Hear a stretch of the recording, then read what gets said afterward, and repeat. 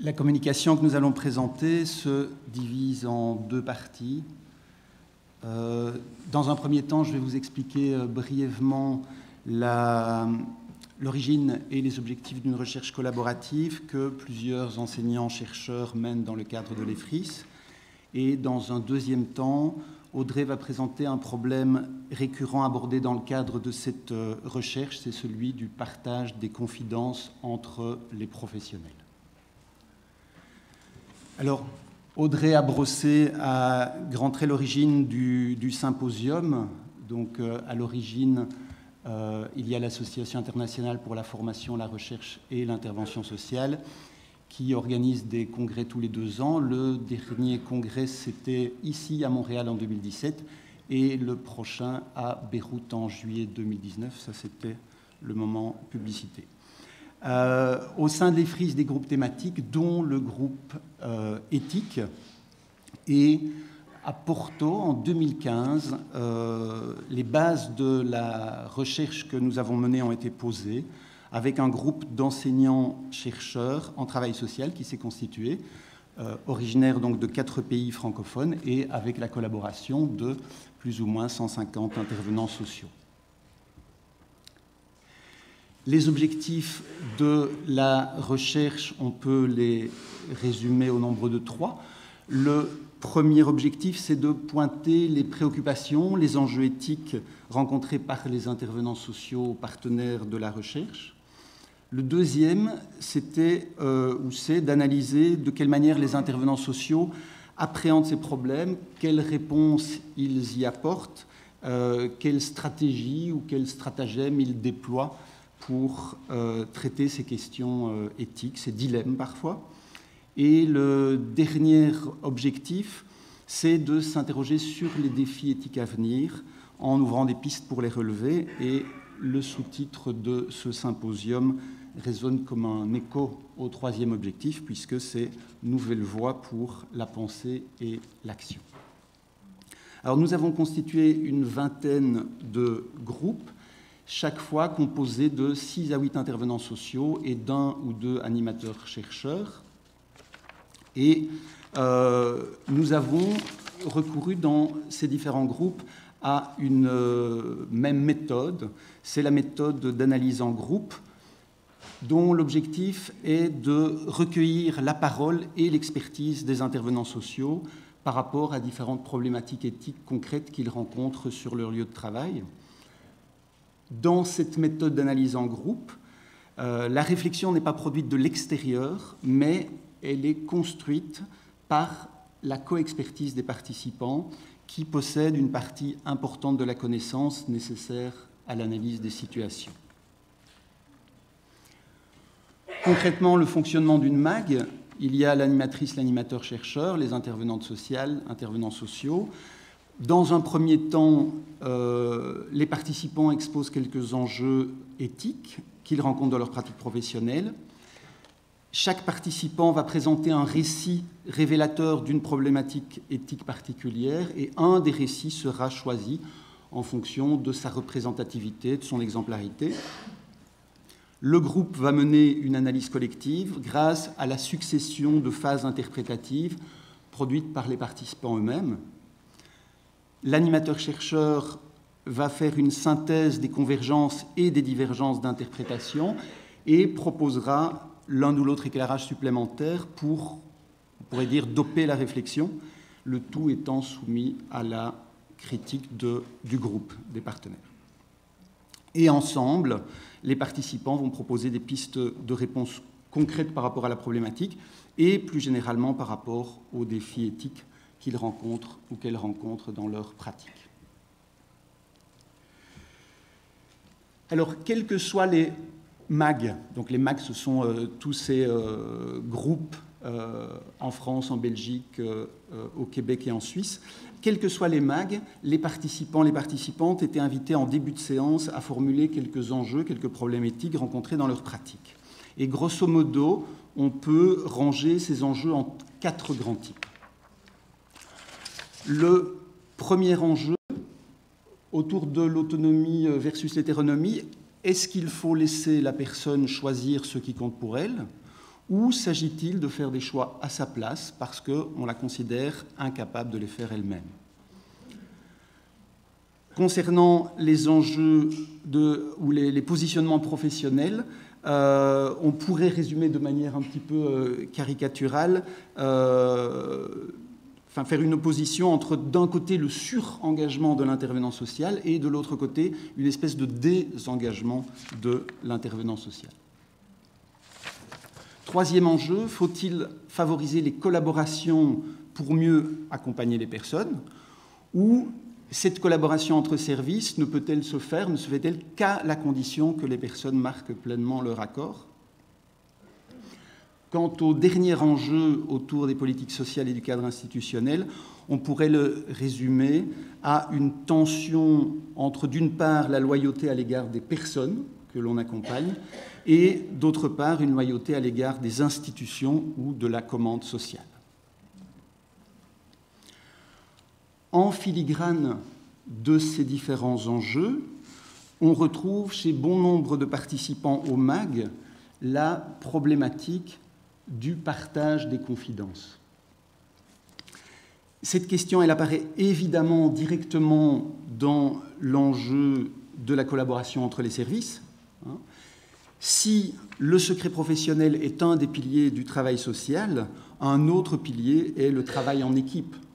D'où la question de savoir jusqu'où maintenir des confidences potentiellement ou effectivement préoccupantes pour la santé, le bien-être de la personne qui se confie. Mais la question du partage des confidences a également à faire indirectement avec la tension entre autonomie et hétéronomie. Est-ce qu'on considère les personnes accompagnées comme aptes à décider si leurs confidences peuvent être transmises à l'équipe de professionnels? Est-ce que ça leur relève de leur choix à elles? Lorsque le bénéficiaire se confie tout en ne souhaitant aucune aide, mais que ses comportements interpellent les intervenants sociaux, à partir de quand et sur quelle base évaluative est-ce que l'on va contacter les collègues ou les personnes du réseau Est-ce qu'il s'agit prioritairement de se prémunir de problèmes ou jusqu'où prendre des risques?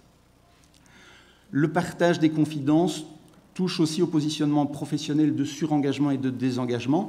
Si je me limite à la question de la proximité. Hein. Celle-ci pourrait pousser l'intervenant à respecter la bulle de confidentialité, là où l'intervenant social qui serait dans la distance pourrait, lui, être incité à percer la bulle de confidentialité pour partager les confidences avec l'équipe. Et enfin, par rapport au cadre général des politiques sociales, euh, on peut se demander dans quel type de société nous vivons ou dans quel type de société nous voulons vivre par rapport à la confidentialité, par rapport au respect de la vie privée ou de l'intimité.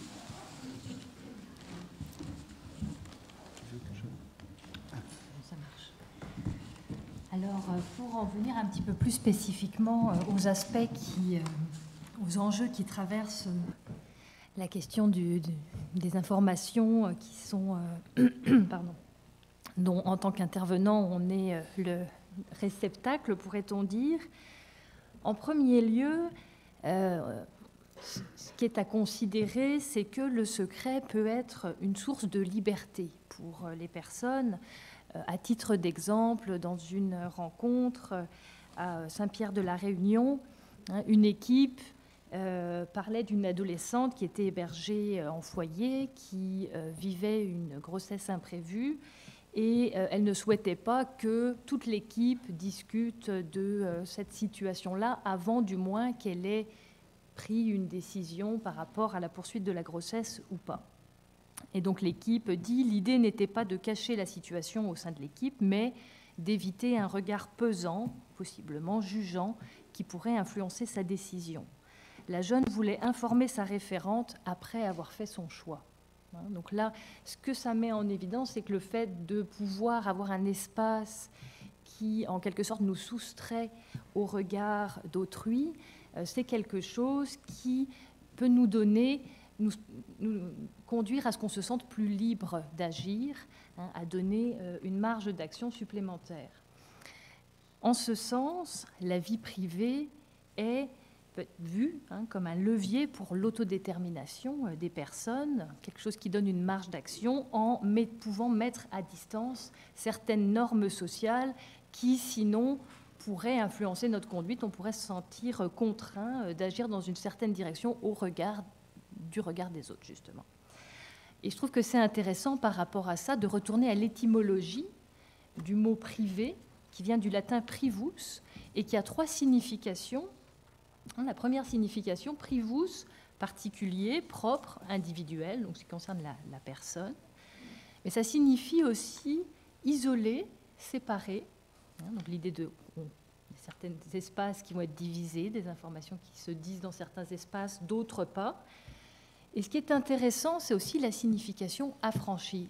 Hein. Privus, en latin, renvoie à l'idée d'émancipation euh, pour euh, les personnes. Alors, autre dimension, euh, toujours dans l'idée, dans la logique d'émancipation, hein, qui peut être soutenue par le secret. Hein, du côté des intervenants, il y en a une, une personne qui disait, par rapport aux transmissions d'informations, c'est quelque chose à double tranchant parce que des fois, sur certaines choses, c'est intéressant de travailler sur une page blanche, finalement, de ne pas euh, avoir le jugement des autres professionnels avant soi sur la situation et de pouvoir repartir à neuf avec une personne. Il y a certaines informations qui peuvent influencer notre état d'être, nos décisions, la manière dont on va articuler le travail avec les jeunes, nous dit une intervenante à Bruxelles en secteur jeunesse.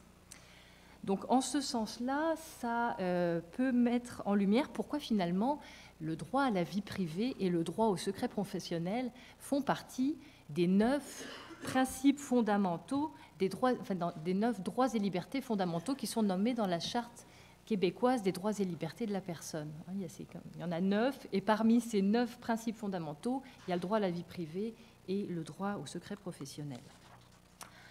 Alors, par rapport à cette base, il y a euh, des exceptions. Euh, au niveau du code de déontologie, on parle de euh, bah, pouvoir lever le secret professionnel pour protéger une ou plusieurs personnes de risques de blessures graves imminentes. Hein, par ailleurs, l'autre, une autre dimension d'exception, c'est favoriser la qualité et la continuité des interventions en partageant des informations au sein d'une équipe. Hein, donc, euh, Cairns met en avant que la continuité informationnelle, c'est un moyen de dépasser certaines limitations qui seraient liées euh, voilà, au fait que ce qui a été dit à quelqu'un ne se partage pas à d'autres personnes. Au Québec, il n'y a pas de repère déontologique formel concernant euh, le, partage d'informations au sein d'une équipe dans le code de, déontologie. Par contre, en Belgique, alors Michel peut nous dire quelques mots. Euh, oui, c'est ça. En Belgique, concernant le, partage du secret professionnel, euh, rien n'est indiqué non plus dans la loi, mais c'est indiqué dans certains décrets ou des codes de déontologie. Et très brièvement, on distingue en général euh, cinq conditions ici qu'on a résumées euh, en trois. Euh, nécessité d'aviser la personne, et on en reparlera en conclusion, qu'on appelle le maître du secret, et d'obtenir son accord. On ne peut partager qu'avec des personnes tenues elles-mêmes au secret professionnel, même s'il y a des nuances. Et on ne partage qu'avec des personnes qui ont une même mission, mais même mission au sens strict. Et enfin, on ne peut partager que ce qui est strictement nécessaire à la poursuite de euh, l'aide et dans l'intérêt exclusif de la personne accompagnée. Alors, malgré euh, ces repères, il y a toujours des questionnements qui subsistent. Hein, exemple, encore une citation euh, en provenance de Bruxelles. Il y a des éléments qui sont importants pour faciliter les choses, mais après, qui détermine ce qui est important et ce qui n'est pas important? À part toutes les informations qui sont vraiment dans l'intérêt supérieur du jeune, la transmission d'informations, finalement, pourquoi est-ce qu'on en a besoin? Ça reste une question ouverte. Euh, autre exemple qui montre que euh, voilà, il y a des situations où ça va rester euh, ouvert, ce questionnement. Donc là, c'est un événement où il y a une famille, il y a un usage de la punition physique qui est utilisé. Et là, ça se passe en Lanaudière. Et euh, compte tenu d'un coup au visage d'un enfant, il y a une obligation légale de signaler euh, la situation.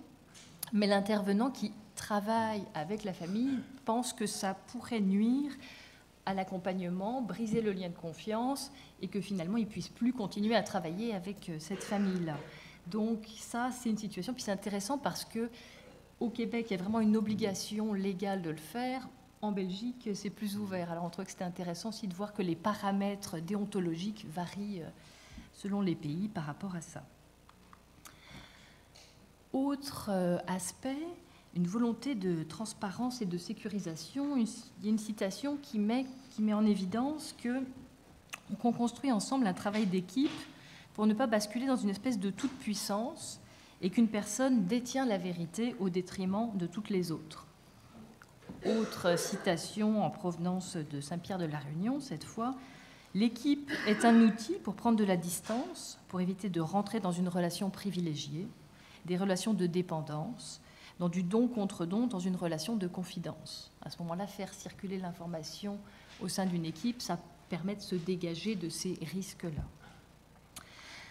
Alors Michel, vous pouvez nous dire quelques mots aussi sur le phénomène d'extimité euh Oui, c'est ça, le, mot d'extimité, donc c'est un, mot que Serge Tisseron euh, a emprunté euh, à Lacan et euh, c'est le désir de, mettre en avant une partie de, sa vie intime. Alors Tisserand dit que ce désir-là, il est présent chez les êtres humains depuis toujours, mais que aujourd'hui, on revendique beaucoup plus qu'hier ce besoin d'extimité, ce besoin de dévoilement de soi, et on pourrait se demander si ce besoin d'extimité n'est pas une manière euh, aujourd'hui ben, de considérer qu'on n'a peut-être plus besoin d'espace de secret, d'espace de confidence, d'espace d'intimité.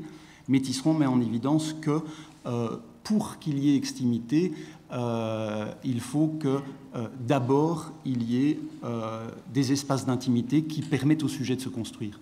Donc l'extimité ne peut pas se comprendre sans qu'il y ait un respect de l'intimité. Alors, euh, ce qui est à considérer, c'est que, euh, comme le met en évidence Ulrich Beck, la gestion du risque se fait souvent au détriment des personnes les plus vulnérables. Euh, on a un exemple en provenance de Bruxelles hein, où il y a une équipe qui se fait demander par la direction de transmettre des informations de manière systématique sur certains comportements, par exemple la consommation de cannabis, mais sachant que ça va conduire automatiquement à l'exclusion de la personne. Donc ça met l'intervenant dans une position un peu délicate là, par rapport à la transmission de l'information, au nom de la volonté de gestion du risque. Alors, par ailleurs, un autre enjeu euh, lié euh, à la parole, à ce qu'on dit euh, à l'autre, hein, c'est la base de la création de liens. Hein, une intervenante à Montréal ici dit on a un milieu de vie ouvert dans la proximité, dans notre approche, la création du lien, c'est la base de notre intervention. Les gens ont confiance en nous. Mais après, quand... Ma question éthique que j'ai souvent rencontrée, c'est par exemple quand les mamans organisent une fête pour un enfant, elles disent On aimerait que tu viennes. On voit des choses, on entend des choses, qu'est-ce qu'on fait avec ça? Quand est-ce qu'on intervient ou pas? Alors, euh, la parole comme base de création du lien, mais aussi parler à quelqu'un d'autre, c'est une chose par laquelle on se construit soi-même. Il y a Paul Ricoeur qui parle de répercussion intérieure de la parole, du témoignage, que c'est quelque chose, s'adresser à l'autre, c'est aussi par ce biais-là qu'on se connaît et qu'on se reconnaît. Hein. En ce sens-là, c'est une voie pour le maintien de soi. Donc il y a une véritable, un potentiel éthique, on pourrait pourrait-on dire, dans le fait de se dire à quelqu'un d'autre. Mais parallèlement à ça, il y a quand même une difficulté à se dire à autrui euh, et que, euh, or, l'intervention exige en quelque sorte de se mettre à table. oui, se mettre à table, ça veut dire passer à table pour euh, manger un coup. mais c'est également, au sens figuré, c'est devoir dire quelque chose que l'on ne souhaitait pas, euh, devoir dire des choses que l'on voulait taire. Et les personnes en demande d'aide sociale, les personnes migrantes, les mineurs étrangers non accompagnés, qui souhaitent obtenir le statut de réfugié, les, personnes sous aide contrainte, euh, parfois doivent se mettre à table euh, si elles veulent bénéficier d'une aide ou si elles veulent sortir de la situation dans laquelle elles se trouvent, ce qui est une situation parfois très délicate.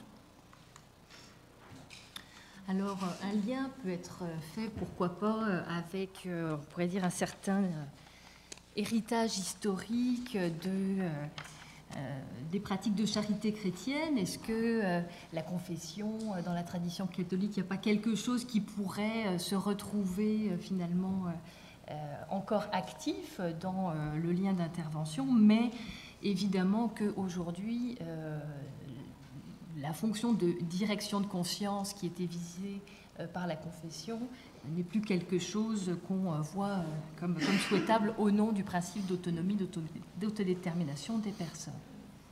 Donc il y a des enjeux de pouvoir qui se mêlent aussi euh, des questions euh, voilà, par rapport au partage d'informations. Hein, et euh, des intervenantes mettent en avant qu'il y a la hiérarchie aussi au sein des équipes qui peut se mêler de tout cela. Au niveau de la transmission des informations, ce qui me dérange, c'est que l'assistante sociale efface tout l'historique ce que je regrette, c'est le manque de confiance. On nous considère comme incapables de savoir gérer certaines informations. Alors il peut y avoir euh, l'enjeu de ne pas se sentir reconnu, de ne pas avoir accès à certaines informations, mais pour autant, est-ce que là, quel est l'intérêt qu'on est en train de considérer? Est-ce qu'on est en train de considérer l'intérêt des personnes ou plus sa position au sein d'une équipe? Et si c'est la personne qui est au cœur de l'intervention, ben, la question de la reconnaissance est peut-être plus secondaire par rapport au respect de la confidentialité. Alors, quelques réflexions euh, conclusives. Euh, très rapidement, ben, les, points que nous avons euh, soulevés ont permis de revisiter les bases éthiques du secret professionnel, au-delà d'un article au code de déontologie qui a toute son importance, mais c'est aussi un fondement essentiel au lien de, confiance. Et euh, il y a la question du rapport. Le rapport au secret est aussi intimement lié à la question du rapport à l'autre.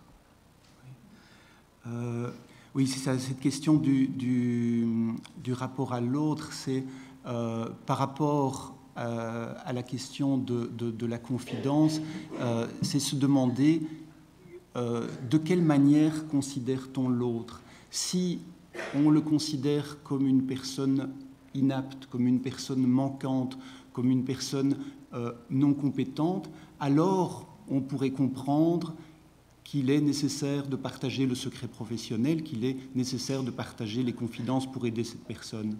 Mais si on considère cette personne comme experte de sa réalité, si on considère comme cette personne capable, à ce moment-là, ben, il s'agit euh, sans doute de euh, travailler avec cette personne, en collaboration avec cette personne, et sans partager trop vite le secret, mais euh, travailler en confiance avec elle.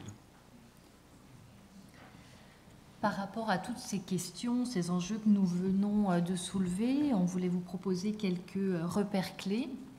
L'une des questions à se poser quand on est face à une situation où on se demande est-ce que c'est une information euh, à partager, ce serait de se demander qu'est-ce qu'on priorise quand on partage l'information ou au contraire quand on la garde pour soi. Hein. quelles sont les priorités qu'on se donne? Est-ce que c'est l'intérêt des personnes? Est-ce que c'est la qualité de l'intervention? Est-ce que c'est le climat de travail au sein de l'équipe? Est-ce que c'est les risques que l'on pourrait courir en gardant le secret?